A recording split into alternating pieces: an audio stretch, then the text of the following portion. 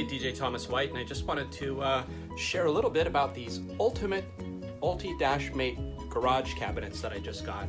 Uh, I actually need a little bit more room in my music studio and uh, maybe even here in my garage, but I'm gonna try two of these cabinets in my music studio and I wanna show you a little bit today about what's in the packaging and how the assembly process goes. Uh, so let's dive in, check it out.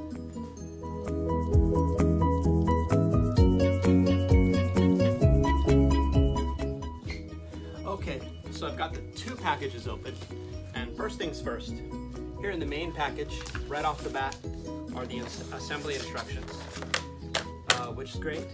Gonna need those, put those aside. Um, I've also got the bottoms of the drawers. This is a four drawer cabinet. Put these aside here.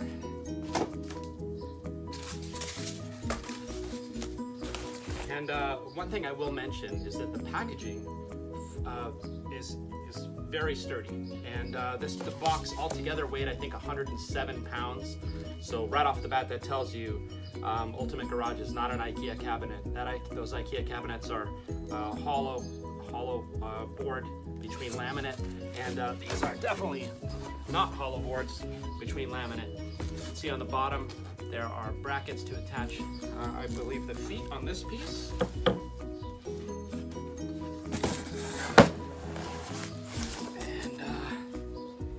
This has got to be the top. You can see it's just super thick.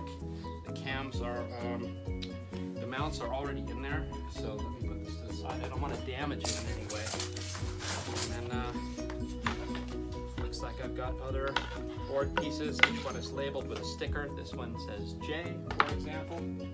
The top piece was A. Here's an F, an E, and a D.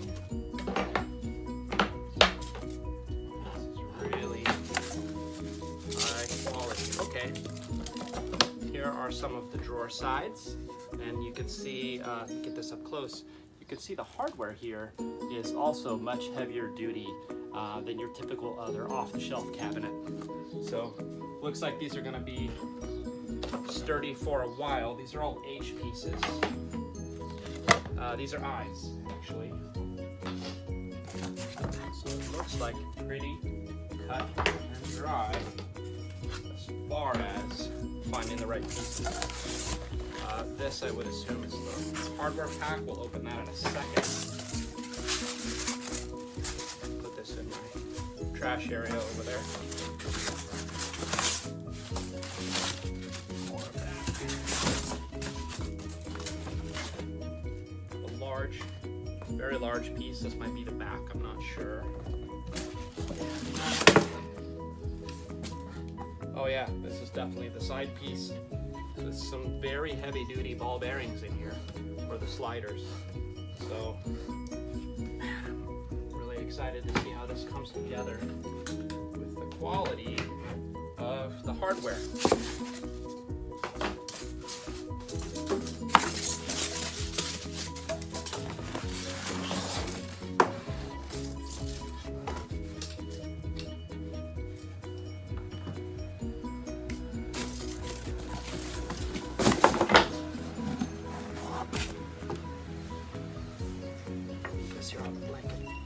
Let's uh, check out what's in this hardware pack here.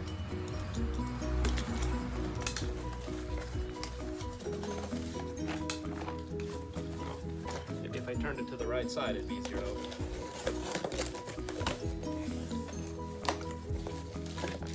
Okay, so we've got our drawer handles. I'll just open one of these real quick since we're doing this. Really nice stainless uh, quality there. There are four of those, of course. Here are the legs. It's very important that you have a good leg when you're going to be putting a lot of weight in the cabinet, and these are no joke. Uh, they look to be maybe machined aluminum uh, with a fully adjustable bottom foot on each leg. So there are four of those.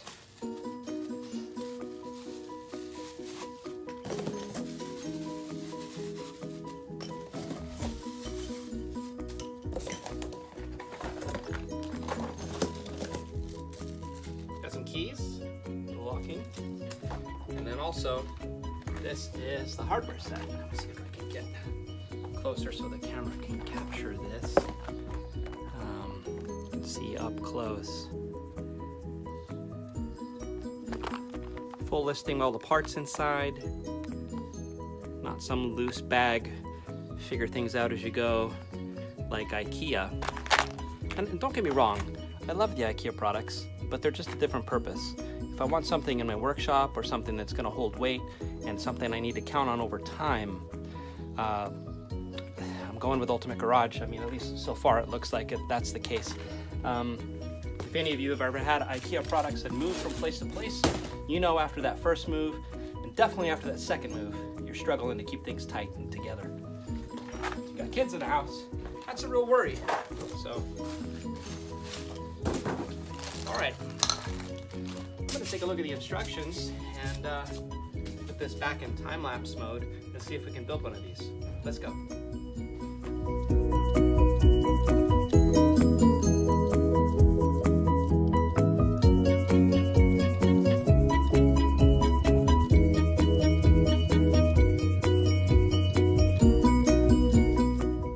Okay, I did want to show one thing and bring attention to a specific part of assembly.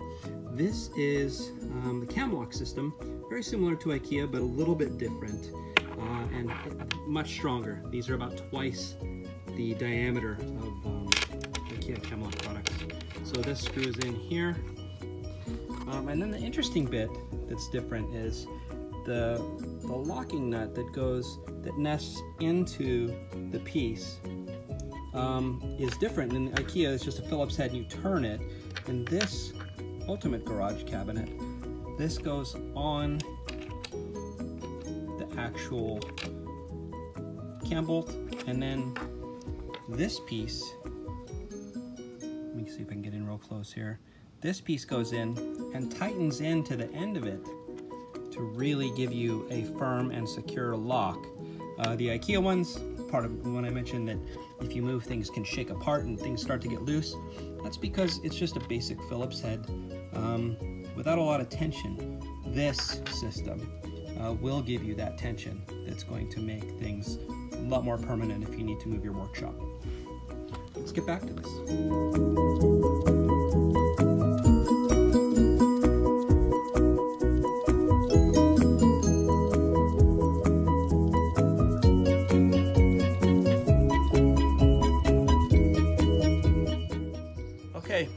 Got the main cabinet assembled, and it was a lot easier than I thought. The Camlock system is um, no uh, electrical tools required. You can do everything with a Phillips head screwdriver, um, commonly available in every tool and workshop. So uh, now let's move on to take a look at the drawers and see how that goes.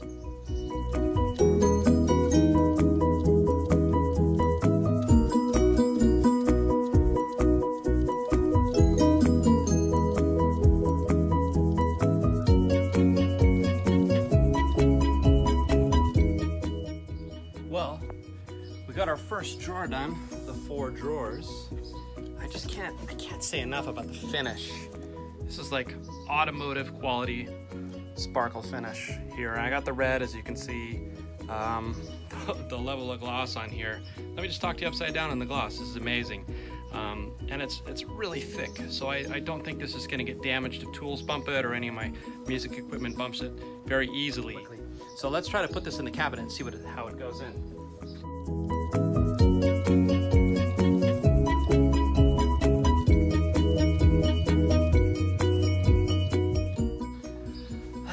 That's one down. Three more to go. Let's get busy. Okay, as you can see, I've got all four of the drawers done. Uh, the top drawer has that lock, lock inside uh, that comes pre-assembled. All of these drawers have a plastic film that's on them that has been taken off, but you can just see how lovely that paint finish is there. Um, one thing I wanted to mention is that the kit also comes with this piece here that can be mounted uh, to your wall so that if you don't want to put the feet on the cabinet, you can actually uh, wall hang it with the French cleat style of attachment. Uh, the last thing I have to do before I put the drawers in is this does come with an internal back. Uh, not so critical with the drawer unit here. So as you can see, we got the whole cabinet built, we got the back attached, and now it's time to put the four drawers in. So let me do that and show you the finished cabinet.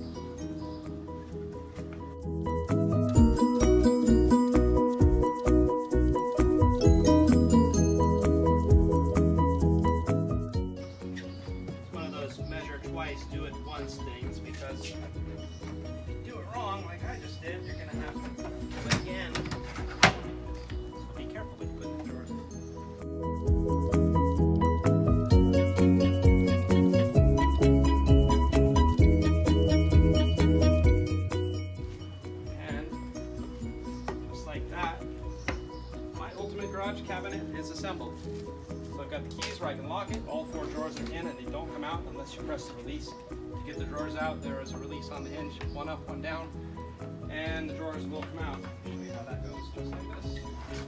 Take a drawer out, put it back in.